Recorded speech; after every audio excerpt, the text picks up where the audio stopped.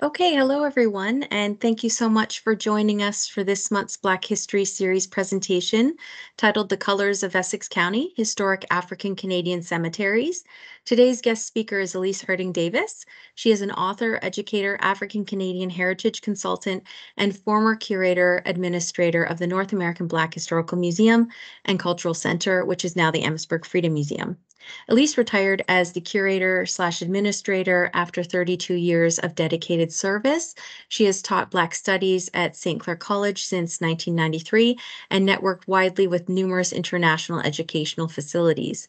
She was also an executive administrator at Hotel Dieu Grace Hospital for six years and was involved in the review slash revision of policy and procedure to ensure diversity and culture competency. Among her accomplishments, Elise is the author of numerous articles in both newspapers newspapers and magazines, and several books, including The Black Presence in the War of 1812, which chronicles Black military involvement. Elise was a core member of the African Canadian Tour Program and acts as a tour guide in addition to working with police forces for several years to devise less biased hiring practices for women, Indigenous, and Black persons and the disabled. She has also supported and educated youth, helping them to develop improved self-image and seek positive, seek post-secondary education. Elise has received many awards awards, letters of appreciation, and certificates of merit, including both the Golden and Diamond Queen Elizabeth II Jubilee medals for her tireless service. And she also recently was invested as a member of the Order of Ontario. We are very excited for Elise to give her presentation today. Uh, while Elise is presenting, if you could all please turn off your camera and mute your microphones as to not distract Elise. Uh, following her presentation, she will also uh, be doing a Q&A, so just type your questions in the comment section or you can raise your hand and I will call on you. And that, at that point, you're all welcome to turn your cameras back on and uh, unmute your microphone. Uh, one final note, if you would like to support programming such as our Black History series, you are uh, welcome to donate by going to our website, amherstburgfreedom.org. And now I'll turn things over to Elise. So thank you so much for joining us, and I will uh, hand it over to you. Thank you, Lorraine. Um, Happy New Year, everyone. Uh, I'm considering this my actual first Black History Month presentation. Oh, here um, she is. Lisa's starting. Talking. Lisa's talking now, right? Is, okay, thank you. Yeah, I um, just wanted to say that um, starting with uh, an event with the museum is really heartwarming to me because uh, it's where I spent so much of my life, and it's wonderful to see them continuing on um, and doing such a good job. Now, if we could get started with the presentation, I will uh, have the things to say and answer any questions or comments when it's over. Can you see the presentation on the screen? I'll go ahead and do full screen. Okay. Can you I'll see it on the know. screen? Not yet.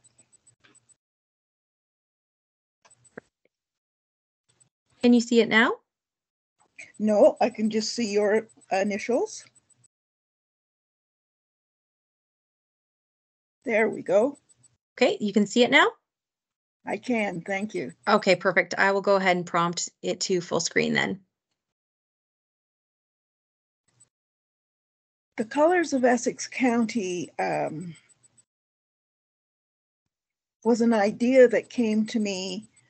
the title is representative of the fact that there are so many cultures represented in Essex County, but my color stands out to me, just like leaves in the fall, all the different hues that are represented. And then, of course, uh, I've been working on preserving and getting heritage status for cemeteries for over 50 years. And, um, you know, Graveyards are very informative places. I have always loved to go through graveyards and read the stones. Uh, you can get so much information. Next slide.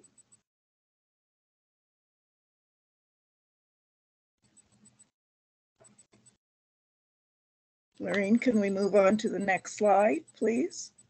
Oh, it sh it should have prompted to the next one. There we are. You got it? Okay, it might this be a is- little delayed. Yes.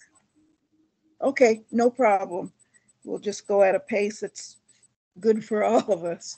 Um, before we go any further, I'd like to state that um, I had an operation on my throat uh, last year, and I'm still having some issues with volume. So just please bear with me. I'm pretty good.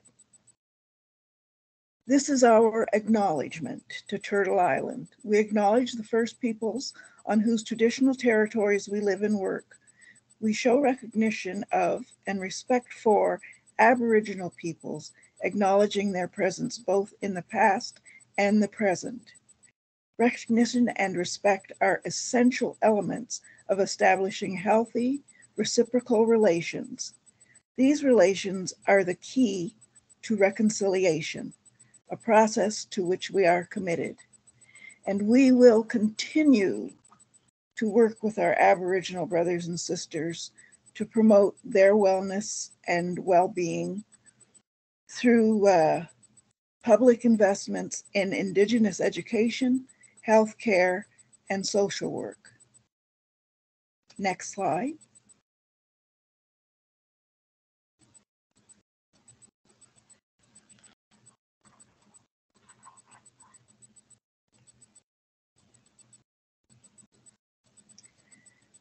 This slide is of Mother Africa.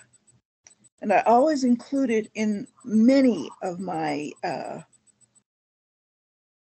PowerPoint presentations because this is where people of African origins originate from. And further to that, and more importantly, although many people don't grasp it as yet, we all come from Africa. It is the crucible of all human form. Olduvai Gorge is where they found the oldest skeleton of human remains. But from the African Canadian point of view, they're now estimating at least 60,000 people came to Canada via the Underground Railroad, but that over 3 million were stolen and sold from the African continent and brought to the New World. Next slide.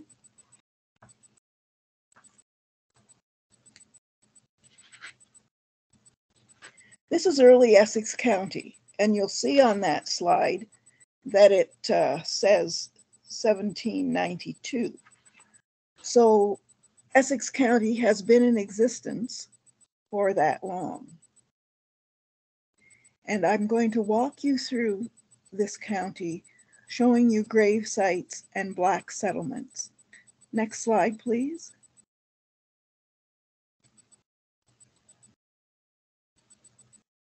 This slide is of the road to the Negro Purchase.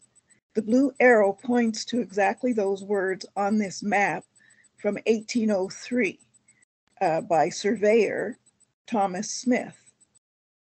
So blacks have been here every bit as long as most of the other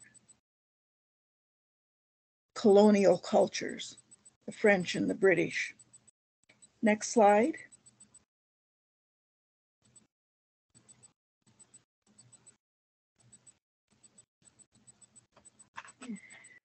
These are black settlement areas uh, going back to as early as 1792.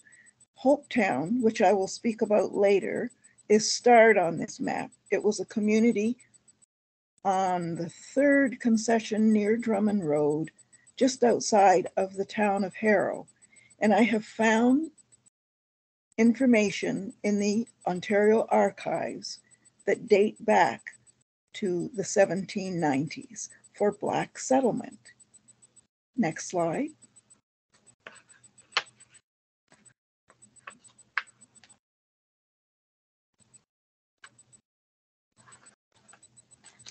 These are African Canadian settlements in Essex County.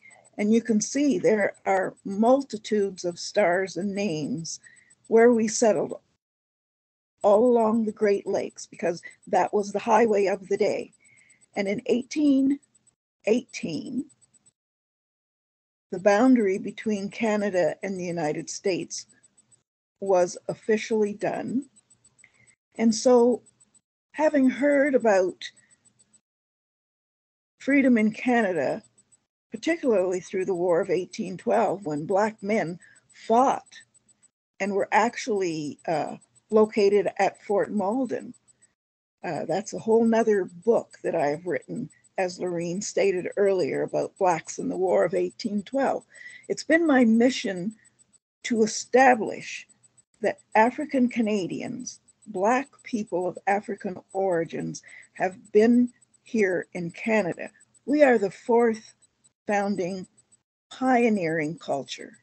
Next slide.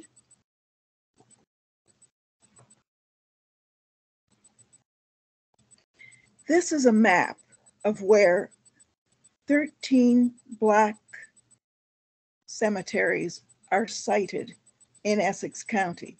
And again, as you can see, they're largely along the borderway of the rivers, either the Detroit River or Lake St. Clair up at the top. And they include, and I'll read from my book because my old eyes don't see as well as they once did. You've got the, um, just give me a moment while I get to that page. And you'll be able to get this book at the museum when it does uh, when we finish with this, and if you're interested in getting any of the information, uh, the book is $25, $5 of which goes to the museum. We've got Central Grove Church Cemetery. We've got Gilgal or Taylor Cemetery, Harrow British Methodist Episcopal Cemetery, Malden Mount Pleasant Cemetery, Nazarene African Methodist Episcopal Church National Historic Site Memorial Cemetery, New Canaan Cemetery, Puce Memorial Cemetery, Shiloh Baptist Church Cemetery, St. Mark's Cemetery, the Puce River Black Community Cemetery, Walls Family Cemetery, Hopetown Cemetery, and Smith Cemetery. Those are the 13 cemeteries that I had already had given historical designation in 2013. A cemetery plot was generally, it was called a church site cemetery plot, was generally um, able to hold 500 grave sites. 500 plots. Mm-hmm. So you figure just these 13, and since that time I've found about five more, but 13 times 500 is 6,500 potential burials. The number of Black people in Essex County in 1812 was 4,000. So a lot of uh, our ancestors are buried here, and uh, we're constantly trying to enlarge the number of family members and neighbors that we know about. Next slide, please. This is Central Grove, and it is located at 4005 Walker Road. Central Grove, as a church, was established in 1911. However, the cemetery has been there since the 1860s. A portion of property from uh, a Mr. McCurdy was donated for Blacks to be buried at the Central Grove, which has special meaning to Black people. It is a central grove, meaning central to the Black community in that region. And the grove is a stand of trees where before the church was even erected, Black people the Johnson family, the Simpson family, the Wilsons, the Mulders went to praise God and sometimes have church camp meetings that would last as long as a week. And the Banks family are buried here at Central Grove as well. Next slide.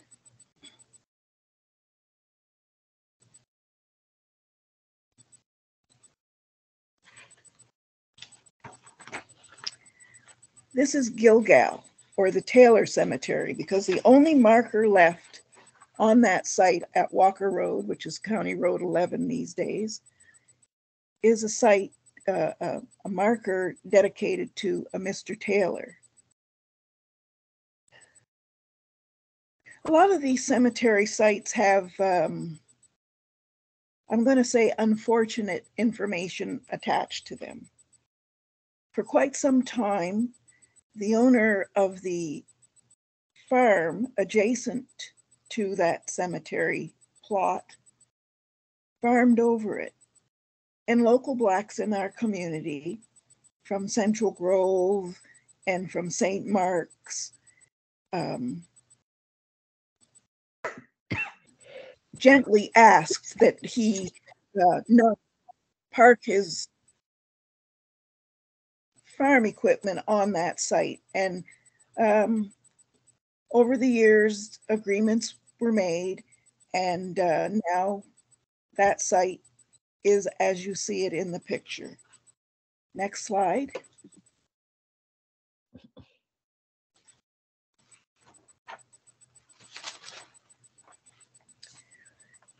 This is a picture of the Harrow British Methodist Episcopal Church cemetery site at 25 Walnut Street in Harrow, Ontario. This site is located behind the grocery store, behind the main street in Harrow. When I told you I had been um, trying to preserve cemetery sites for over 50 years, this is the one that really reached into my heart and made me decide that I had to do something. It was derelict.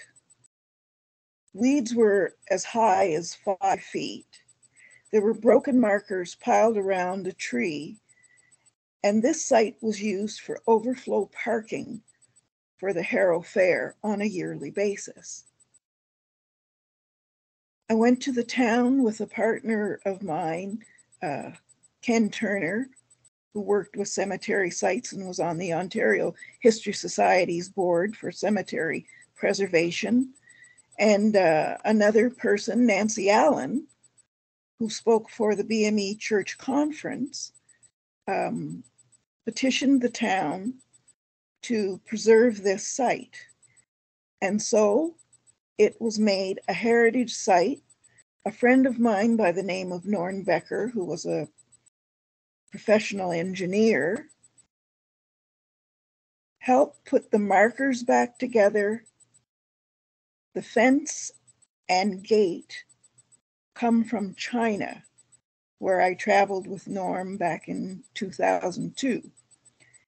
And the Horticultural Society here in the community planted all of the shrubbery that you will see they came and asked me if I would help them choose things that were representative of the Black community.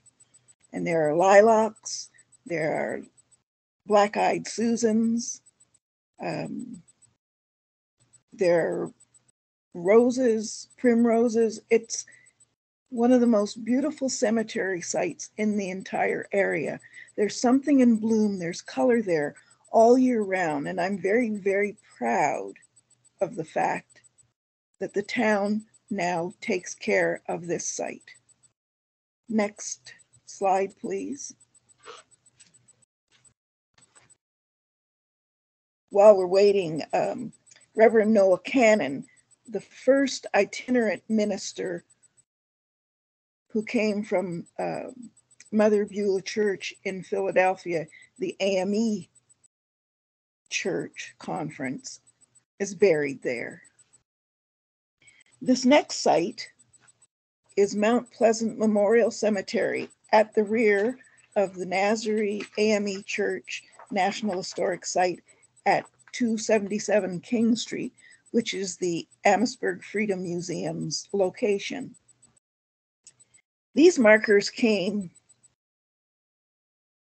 jumbled up, broken pieces in the back of a truck.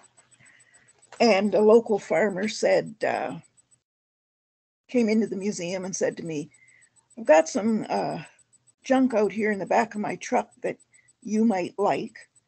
Uh, otherwise, it's going to the dump. Well, I went and I looked and I saw some of the names uh, Bell, Bayless, and I knew that there had been a Black church and cemetery site on uh, the Sixth Concession in um, Malden. And so I said, yes, we'll take it. We held it in the uh, museum site for numerous years. And when the uh, Nazarene African Methodist Episcopal Church became a National Historic Site, we decided to put this memorial to those individuals at the back of the church. That farmer grew potatoes on that site. And to this date, we have not been able to have it locally, provincially, or federally claimed a protected African Canadian cemetery site, but I'm still working on it. Next slide, please.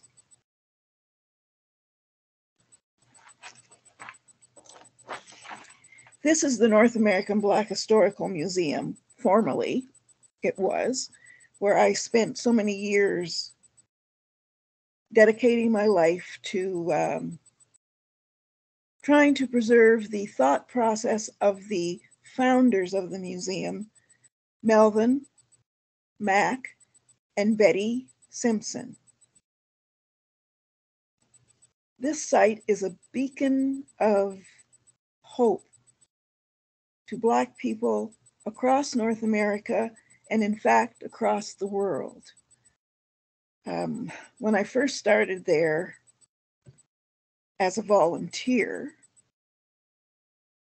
I would sit at the front desk and hope somebody called or came in. To the height of my career at the museum, when we had tour buses lined halfway around the block, people coming from all over North America, people arranging tours, uh, a twin city to the city of Windsor in Japan, actually asked that they be brought to that museum to visit when they came to visit the city of Windsor. I'm so very proud of the people who are working there, Mary Catherine and Lorraine, and the board of directors to keep that place going because we have helped the world to understand that Black people, enslaved people, and oppressed free Blacks came to this community and spread out through Canada to make us the black thread in the Canadian tapestry. And I tell people, you know, without Black history, history is incomplete. Without knowing about the Black culture and our contributions, a person's education is not complete. Next slide, please.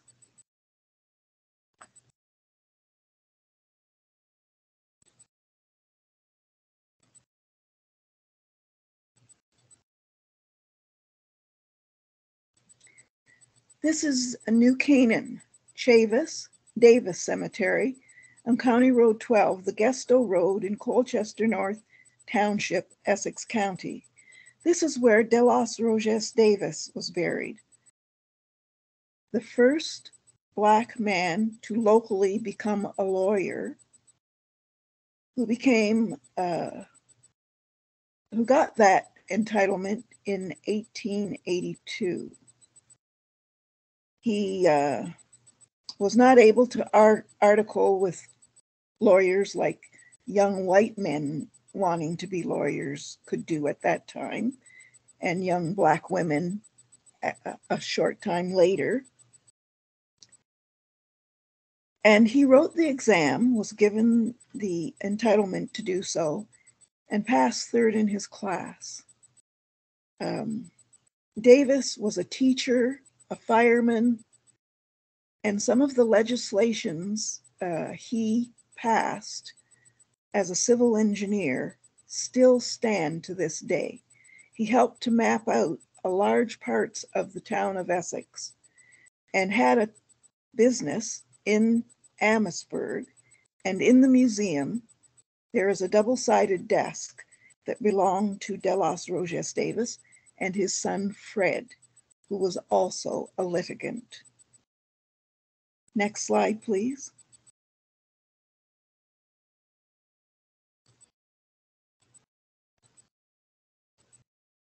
This is Puce Memorial Cemetery on County Road 42 in Maidstone Township, Lakeshore, Ontario.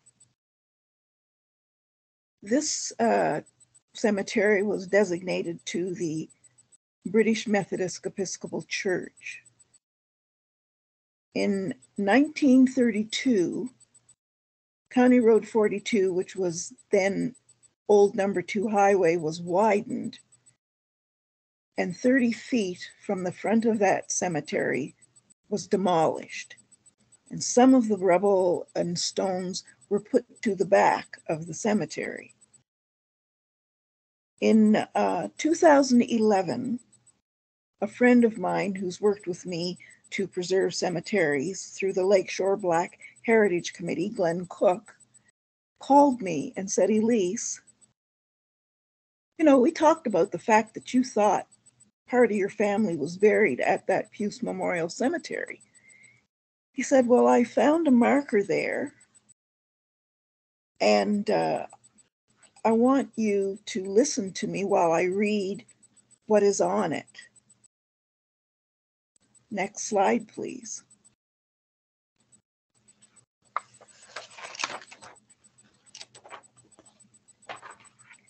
It reads The tombstone of Elizabeth Lee, wife of Ludwell Lee, and their son James. At the time of writing the book, this marker, which had been broken and honestly raised up out of the ground, was under reconstruction. My grandfather took me to this cemetery numerous times looking for this marker. Ludwell Lee was my four times great grandfather. He was born a slave in Virginia, and his mother, Kissy, was the daughter of Light Horse Harry Lee by a, a, black slave woman whose name we've never found out. But that makes Kissy the half sister of General Robert E. Lee, the leader of the Confederate Army during the Civil War. Many Blacks whose families have been here in Essex County and beyond have been here since the late 1700s. And we were the descendants of slaves who were owned by prominent white pioneers of the United States. Remember that the whole of North America was under British rule when it started out. The pioneers that came out to North America were largely British, and the area, the 13 colonies, was along the Atlantic sea coast. In Canada, the French were the first to um, colonize with the help of a man by the name of Matthew da Costa, who was a free black navigator who brought Samuel de Champlain to Canada. And da Costa was an interpreter who interpreted between the Micmac Indians and the French. And ladies and gentlemen, in my mind, that makes settlement in North America circa 1604, which is before the Americans in 1619, responsible to a Black individual. Next slide, please.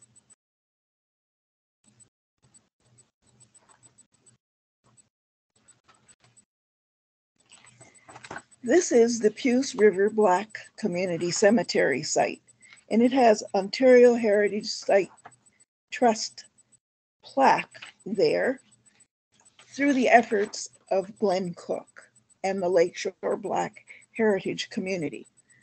When Glenn was a young boy, his grandfather would drive him from Maidstone into Windsor along Old Number Two and point out to him this site which at that time looked abandoned, uh, you have family buried there.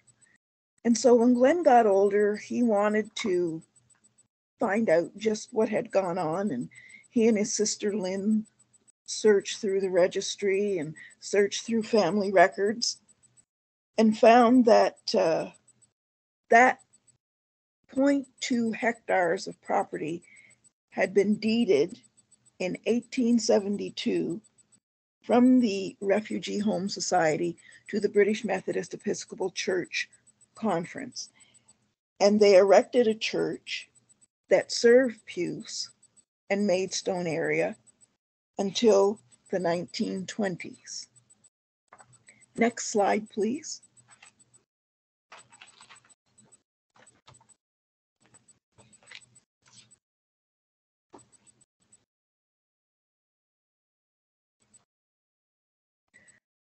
This is a monument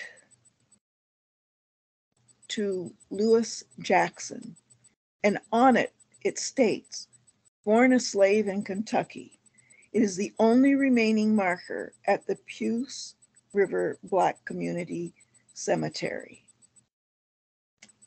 This marker, when you have a chance to look at it, was re erected by Ken Turner. Um, it had been stolen. Word was put out in the community that it was stolen. And in the dark of night, it was brought back and dumped in the ditch in front of the cemetery site. And Glenn had Ken come and resurrect it to its present place. Around it are small little oh, they're not even 12 inches wide markers for some of the children that Lewis and his wife had had who had died. It is one of the few markers I know in all of Canada that has on it born a slave. It is a very significant marker. And Lewis Jackson was also the half brother of uh, Henry Bibb. So there's a lot of history attached to this particular marker. Next slide, please. Each year, Glenn holds a, hen, a homecoming at that site, and the musician, museum gets information about that. Our next marker is the Shiloh Baptist Cemetery, just outside of Kingsville. On North Division Road, Gosfield Township, Kingsville, Ontario. Ken Turner and I, and a few other people, his wife, and uh, a few other individuals who d- have been with heirs, did a dig there. And all we found was the base of a gravestone several bottles, uh, things dating back to the late 1800s. And so we searched for a stone to put up a dedication.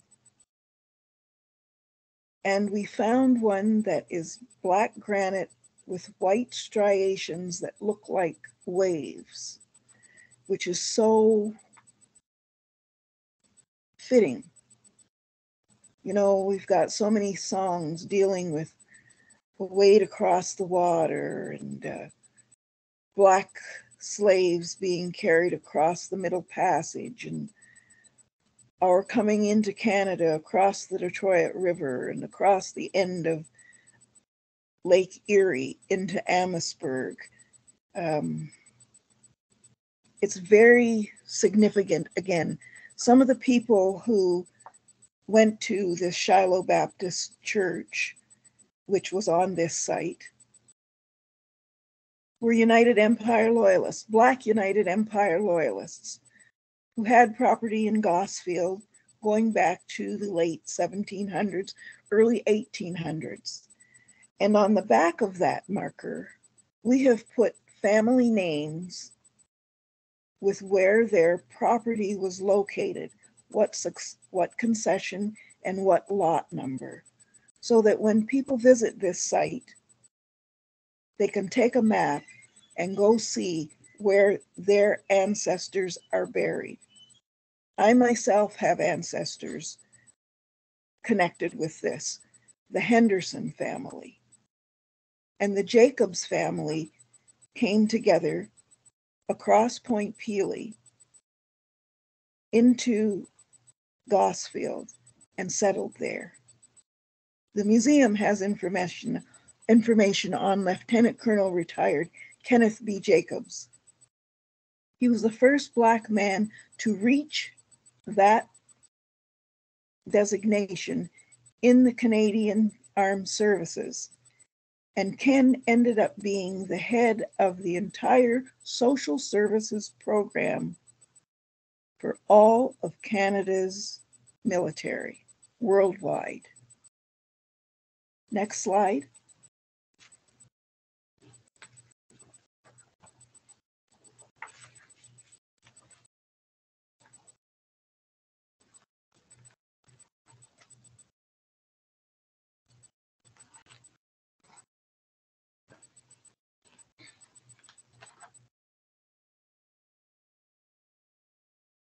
You know, you can take the map that I showed you earlier and travel around the county and find all of these sites. Um, there's a real sense of reverence when you uh, get to these places. This site is uh, St. Mark Cemetery uh, on the Dunn Road in Colchester uh, Township, uh, Essex Township now, formerly uh, the town of Harrow. St. Mark Cemetery dates back to the 1840s with a, a, Reverend Ruth being buried there. It's in two parts. The front part, you will see this marker and present day burials because it's still being used as a cemetery site. The back part, you go over a little ridge, a little rise, and you'll find markers scattered throughout uh, Reverend Ruth, as I said. Uh, the Greer family have plots there. The Mulder family have plots there. It's it's very significant to the community. And the Dunn Road is we could call it our first lady in uh, Colchester because all the different cultures came along the Detroit River and came up in uh, Colchester, you know, the Colchester Beach area. And just adjacent to that is the Dunn Road, and it leads you on into Canada. Uh, Fred Johnson lived on the Dunn Road.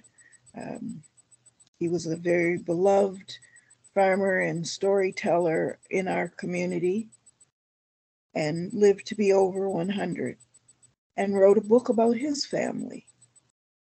Next slide, please.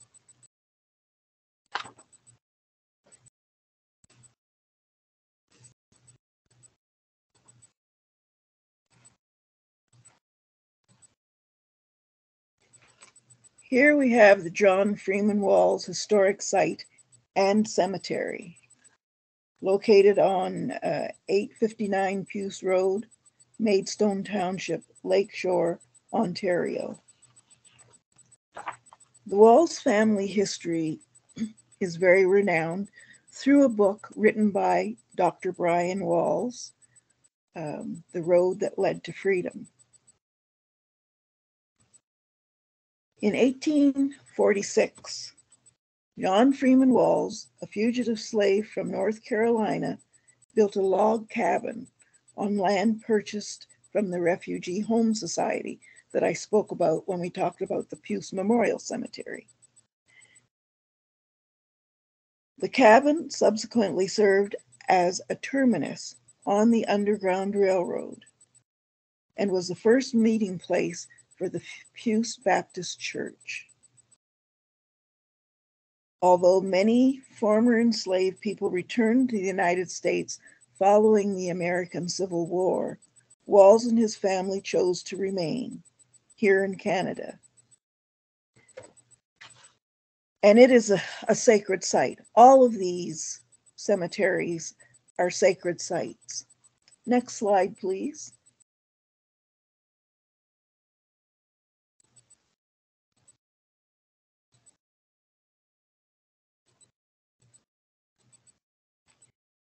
There are other African Canadian cemeteries of significance, one being Hopetown, which, as I explained to you earlier, was located uh, approximately outside of Harrow on the third concession at the Drummond Road. Um, recently, a marker from that cemetery was found being used as a stepping stone into a farmer's barn. One of the family contacted me with the information, and I contacted Richard uh, Matthews because it was one of his ancestors whose marker it was, and it was retrieved, and Richard now has it in safekeeping.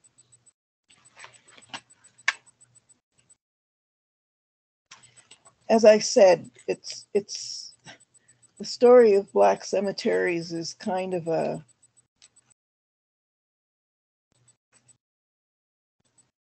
kind of a sad process. However, um, I take great pride, and so do many other African Canadians and Eurocentric Canadians, in the fact that we have looked for these abandoned cemetery sites, reestablished them, found their proper owners, some being the British Methodist Episcopal Church Conference. And regardless of who they belong to or why they laid uncared for, we have taken them into our arms and given them back their significance and their glory. And the Smith Cemetery that's here was later, after 2013, um, became a national, uh, actually a, an Ontario Heritage Trust site as well. And it became known as the Banwell Road Black Settlement Cemetery. Because people around uh, Banwell Road, there was Priceville, Hillville, Painville, different family names that we know currently who had family settlements along County Road 42, again, the old uh, number two, near the Windsor Airport. And uh, it's largely the Smith family whose markers are left there. There are seven markers, I believe. And so it, it was called the Smith Cemetery for many, many years. Next slide, please.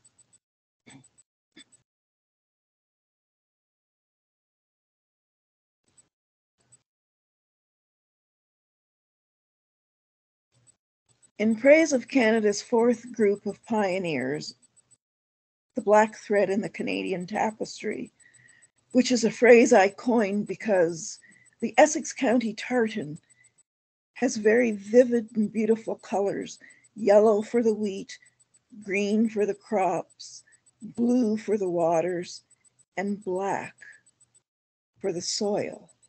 But in my mind, the black was the black thread that outlined all of these different colors to make them stand out so vividly.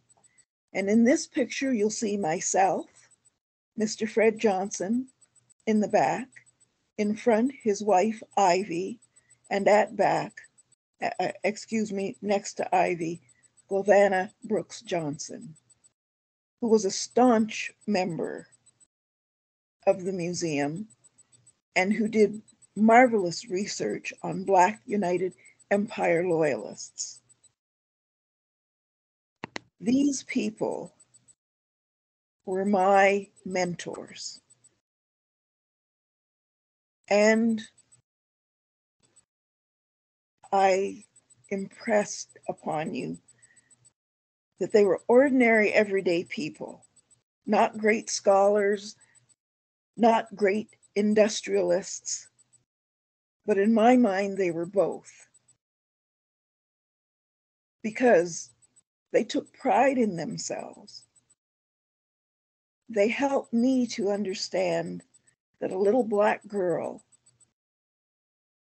could climb to the heights that I have only and specifically by being proud of the fact that I am Black.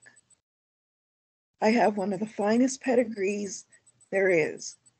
I am a descendant of enslaved people who escaped, who got up and walked away.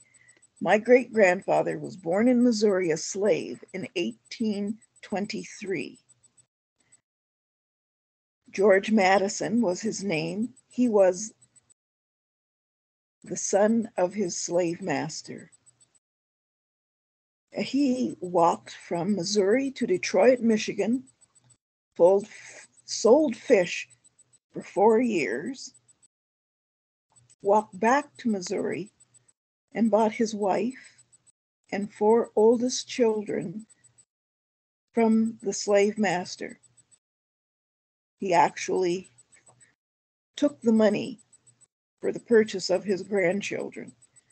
And that family walked back to Canada across Bottle Island when it was frozen into Kent County. And Grandpa Madison had a slave coach servicing the Black community from Dresden to Windsor and worked with the Janisse family, Janisse Funeral Homes, to bring the Black bodies of people back from the United States and from the, the surrounding areas. That's a bit of our separate but equal. That's another story.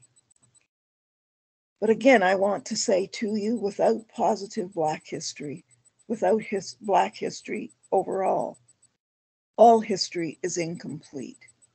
So I thank you so much for being with me today. And uh, any questions you might have or any comments, I'd be glad to hear.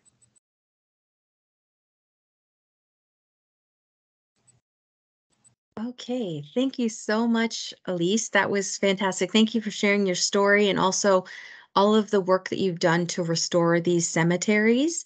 Um, I will monitor the chat. So if anyone has any questions or if you wanted to just raise your hand, uh, you're welcome to, and you can ask Elise your question. Um, I wanted to start off by asking a question. I'll give you a moment to take a, a sip and then I'll ask. Thank you. so I've I'm sure you've read documents where it talks about cemeteries in the area.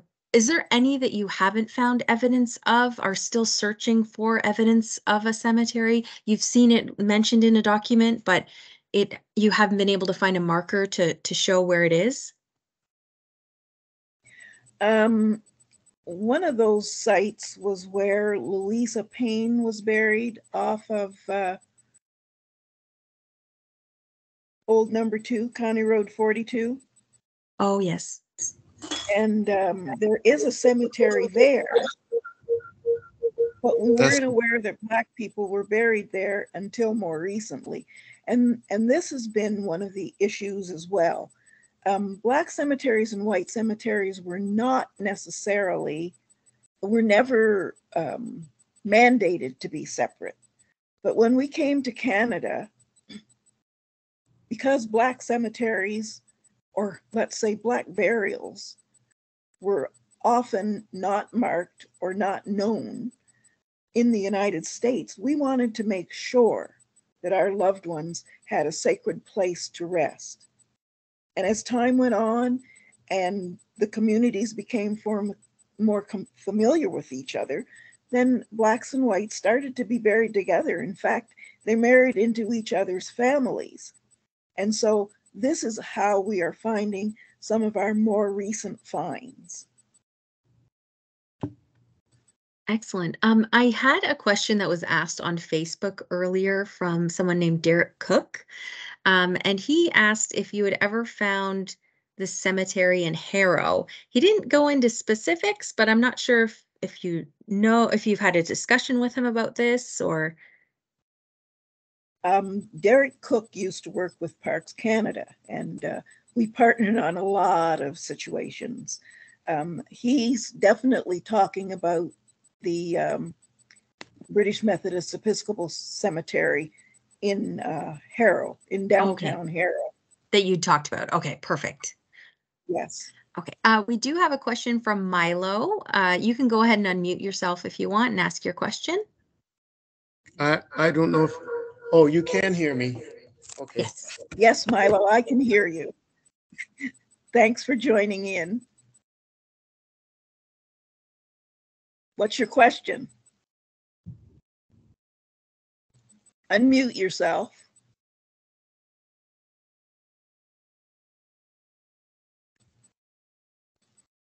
You can also type it in the, the comment section if you're having trouble with your mic and I can read it for you.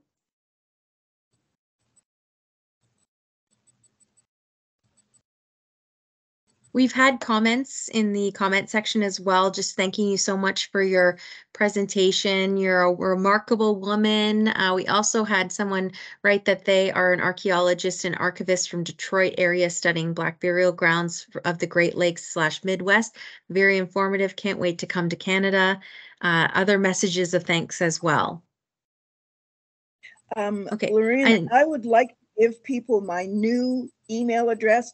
My email was hacked and the email that's out in the whole world no longer works. My new email is e harding davis at gmail.com. And so I want to connect. I've typed it into the chat as well, ehardingdavis at gmail.com. So if anyone wants Thanks. to speak with Elise, I've typed it in the chat. Uh, Donna, you can go ahead and ask your question as well. Hi, Elise. It's Donna. How you doing? Hi, Donna. I'm wonderful. I'd like people to know before Donna goes on that she is the lady who put my name forward for the Order of Ontario. And I just, I'm so grateful for all the hard work she did for that to happen. But uh, Donna is also a great person in her own right. She has a, a podcast and uh, is really preserving a lot of our African Canadian history through her work. Thanks, Donna. Thank you. It was my pleasure to nominate you, and I was so I so enjoyed that evening. It was a great time being there at the Order of uh, Ontario. it was lots of fun. And um, but I wanted to ask you this summer, as I was traveling collecting stories, I came I got to visit the Shiloh Baptist Church in Saskatchewan, and I'd heard about a, a, couple of other Shiloh churches. And you just mentioned the Shiloh Baptist Church in, I think, did you say Maidstone? Was it Maidstone? Yes. Or, okay. So do you know yes. if there's any kind of connection? I mean, what is what is the Shiloh, and is there a connection to each each of them? Well, excuse me, Shiloh, the one we were talking about, was in um, Kingsville, just outside Kingsville, of Kingsville. Sorry. But uh, Shiloh Baptist Church. Um, there are a couple of old wives' tales connections. Uh, Shiloh Baptist Church, of course, in the United States. And so uh, different groups who came from those areas in the South would come and rename their churches uh, in commemoration of those churches. Also, several Black men who fought in um, the War of Independence fought at Shiloh. Okay. And Mhm. so when they came back, or their families commemorated them, they named the church Shiloh. And we believe that's what happened with Ch- Shiloh Baptist Church in Kingsville. Okay, thank you. Great. Uh, we have a question in the chat, but Milo, you had your hand up earlier and I noticed you just re-entered the chat. Did you want to try asking your question again?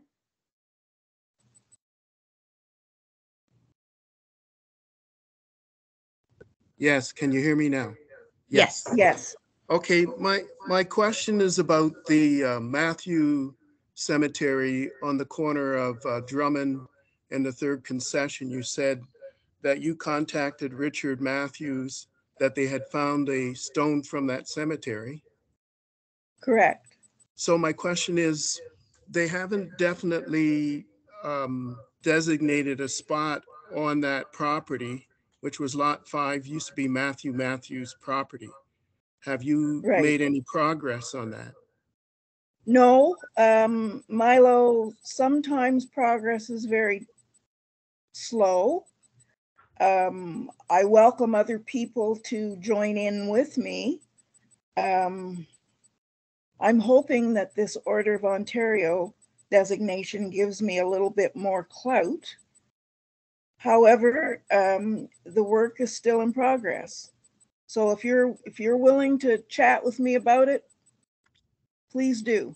Sure, I, I know the people who live there now sent me a message and they were concerned because they wanted to build a barn and they didn't want to build it on a cemetery.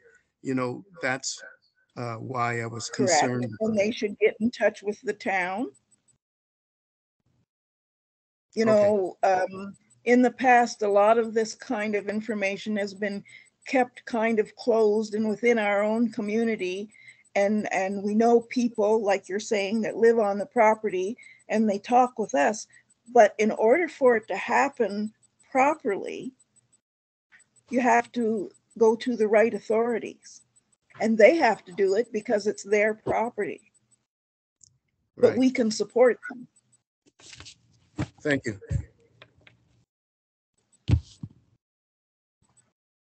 Okay, so there was a question in the chat um, from Matthew. Uh, I really appreciate your presentation. I was wondering why the Smith Cemetery along Banwell Road is framed differently than the others you shared with us today. Do you need I'm maybe not- further explanation about that? Maybe Matthew, you can. Well, yeah, I'm not, I'm not quite understanding what you mean frame differently. It's an on, Ontario Heritage Trust site, but so is the uh, Cemetery site. Um, we've got several uh, Ontario Heritage Trust sites now. You can go on their um, website and, and look at them. But the uh, Smith Cemetery was um, adjacent to a settlement that goes back to 1838. Some of the people who lived there, the men had fought in the rebellion of 1837 38. Uh, names like Patterson and Smith, as I said. And um, it is not a, a unique designation, but it is amongst a growing designation of that type. I hope that's answered your question. Uh, Matthew did put a follow-up comment. Um, I was mostly curious since it was started on the original map and didn't sound like it had as much information at this time. Uh, when I wrote the book, correct, but then it was designated and um, you can look it up and find out more information on it. And Okay, we're and kind of, uh, we're kind of concerned about that site these days because there's talk that with um, a new hospital going in down County Ward 42, actually, the Smith site, the Puce Memorial, and the Puce Black Community Settlement Cemetery uh, could all be endangered because they're going to have to widen County Road 42 again. That is the reason. That's amongst many, but one of the significant reasons why I myself and several other people have been out there trying to get these cemetery sites designated so that they're not uh, concreted over and turned into parking lots or uh, pulled into subdivisions or obliterated. That's a really That's valid. Yeah, that's a really valid point that you make about development happening. So again, we're very grateful for the work that you have done in the past and the work you continue to do. Um, there are no other questions, but just a final comment uh, from Donna. Again, just thanking you for uh, giving a shout out to her podcast, their podcast. I am I am uh, Black History, and the link is in the chat as well, uh, www.intheblackcanada.ca. So if anyone's interested in checking that out, it's in the chat as well. Um, and I just wanted to end by just, again, I can't thank you enough for giving this presentation today. It was so interesting. Lorraine, can I uh, interrupt you for one second? Yes, absolutely. Allen's Hand is up. Oh, yes. Yes, go ahead, Nancy. You can ask your question. This is the same Nancy that Elise had referred to in the presentation earlier as well with her work with the BME Church. So you can unmute yourself, Nancy, if you'd like. Well, you know, I just want to thank Elise. She's been a friend. Can you hear me? Yes. Yes, Nancy. I just want to thank Elise. She's been a friend for a long time, but I find when she gives a, a talk about something, there's always other issues that sort of uh, uh, are brought up, and then you're anxious to get to that. And this is the first time really I've had any presentation about cemeteries. My question is, uh, you mentioned the Ontario Heritage Trust. Is that a fund or is that what they use the word Ontario? It's a, it's a trust situation. Uh, it was set up by um, Lincoln Alexander. And it is a, a, a foundation to which people can apply for that status as an Ontario Heritage Trust site. These days, I believe there's a five thousand dollar um, fee as such. Um, often, when people apply to the trust, they will then come and uh, either do a, um, you know, a scanning of the site. Um, but you've got to have your information in order, you know, old deeds or old um, bits of uh, writing that indicate that there is a cemetery there and who it belongs to. For instance, with the Banwell Cemetery site, um, it was abandoned for years and years, right up until the time it was designated, to be honest. But the town of Tecumseh, um, who had been helping to keep the site up, you know, cutting the grass and things like that, once we went to them to say it was there, found that it um, was under the auspices of the British Methodist Episcopal Church. Um, some of the church sites, the cemeteries particularly, because if the churches are gone, then the cemeteries are abandoned. Some of the newer trustees are not aware of these sites. People like ourselves, Nancy, have had probably, I'd say, better information because we're generational Canadians. Uh, Afro Canadians whose families actually founded these places. And as ownership of some of the different conferences or some of the different groups that work with Black society come into the fold, they aren't aware of the structure of it. That's one of the other reasons I wrote this book. Well, I'm glad you wrote the book. I have two concerns. One is I appreciate uh, what you've told us today. There are a number of cemeteries that we don't know anything about. Lucan, for example, some lady told me there were a lot of headstones that people took home and put in their gardens for stepping stones. So that's uh, one area. There's a place outside of Hamilton she told me about. My concern is that we need to somehow get together and make up a map that is it's very as concise as possible. So as we're out traveling around, we could notice where these new cemeteries are and do something about identifying them. Um, the second thing is I received a call from the BME church headquarters about a church in Shrewsbury. The interesting part is that on that site, there's a Baptist church on one corner and the BME church, which is no longer there, but supposedly was there in 1841. They want our conference to pay for all of the upkeep of this property. So that's why I was interested in the Heritage Trust to see if somebody can help us. Because as you know, most churches today don't have a lot of funds to use to pay for the grass cutting and all the rest of the church. But I thank you because I'm really, I'm really stirred up now. I think it's time to say thank you very much and just leave it and let's keep the lines open so that we can somehow talk to each other when we make a discovery about one of these cemeteries. My friend, I agree with you 100%, Nancy. Uh, we've known each other since we were children which is way too long for most people to even understand.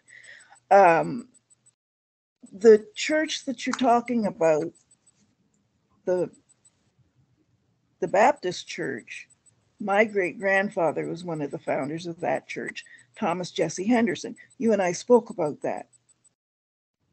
When individuals come to the conference and ask them for upkeep on particular properties, they first have to give uh, some legal documents that show that that was actually there. And if it was uh, either turned over or sold to one conference to the other, the Baptist to the BME, um, then there should be some there should be some paperwork somewhere to indicate that. And working as groups, um, you and I have worked together before. We, you and I are both looking for other people to step into the the trenches with us because we are not little girls anymore. Um, and this is an extremely important issue because Without these cemetery sites, we honestly don't know how many Black people came here. And without these cemetery sites, did we even exist in Canada? Are we just myth? Was there once upon a time a group of Black people and now they're all gone? Those have always been my concerns. So let's talk a little bit more. And anybody else who would like to come into the fray, please do so or speak to your friends and find out if there are other people who can en- we can enlist their aid because it is a lot of work, believe me. But it's worth it. Amen. Thank you, Elise. Thank you.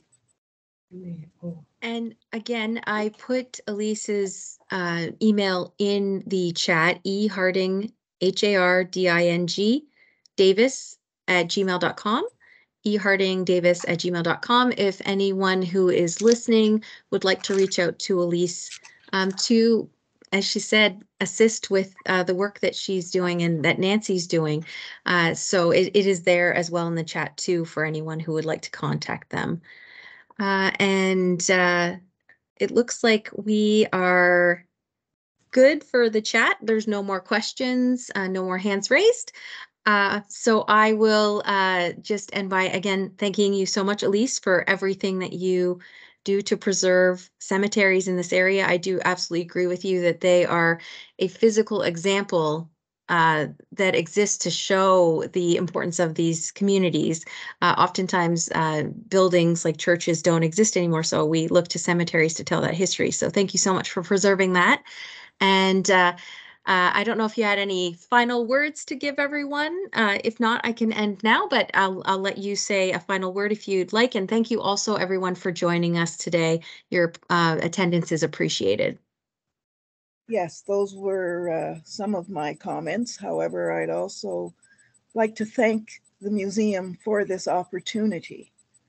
Um, pretty well everyone who's on this call uh, is involved in Black history in some aspect or involved with cemeteries. We're the people who are the backbone of keeping the history of this country alive. Thank you so much for what you do.